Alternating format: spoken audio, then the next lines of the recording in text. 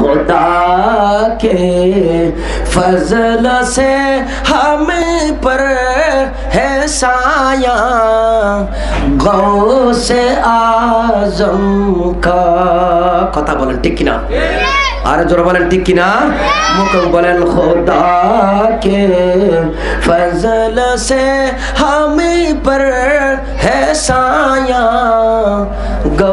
से आज़म का हमें दो नो जहाँ में है सहारा, गौ से आज़म का।